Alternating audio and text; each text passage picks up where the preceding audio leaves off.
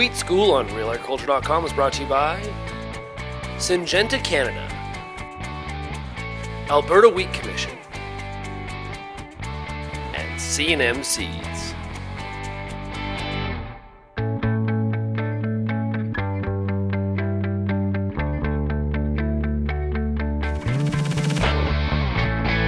So, thicker crops means potentially more lodging. Yes. So one of the tools that a lot of growers worldwide are thinking about a lot more is growth regulators. Yep. Is that a tool that you believe in? Yep. Growth regs.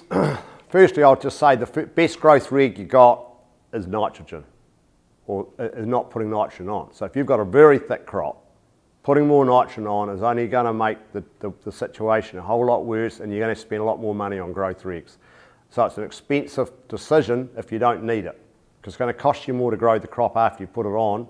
And my advice would be to growers every time delay the nitrogen and um, and just use that as your growth reg because you've got to think that what's happening what happens is the thicker the crops they are the thicker the crop is the taller it'll grow and the weaker stemmed it'll grow so if you get in a situation where you've got to go with growth regs we've got a few tools in our toolbox and we do growth reg most of our crop anyway we would use chlormequat um, either one or two applications or we could fit in there an application of Trinexapac, which is something like Moddus.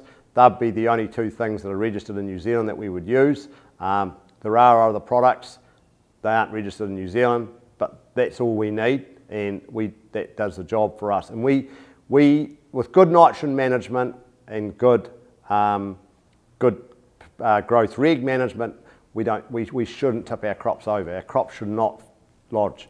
And I suppose here, that would be what I'd be concerned about if people put early nitrogen on and you had a really good spring and the, the, you know, the potential for those crops to lodge. And then I would be saying, yes, definitely growth reg them. Do people underestimate the yield loss that comes with lodging? Well, I'm not sure, but we would expect, depending on how early it lodges, the earlier it lodges, the, the, the greater the yield impact. Um, we, we know that it's significant. It's 30%, or it could, you know, it could be at least 30% if it lodges down early. So that, that coincides with the, the, the issue around trying to harvest it off the deck. That's a slow process. That's holding up, the, that's holding up your harvest.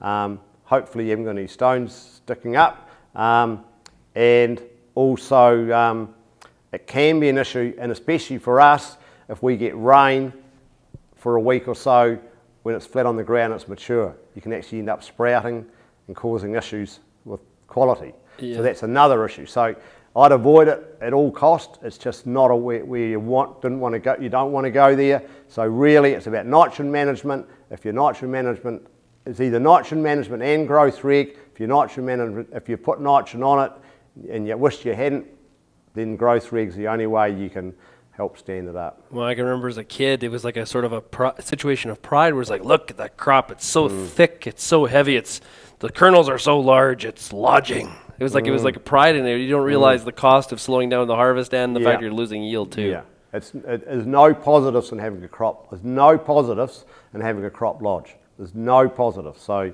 you know, you just don't want to go there. Okay.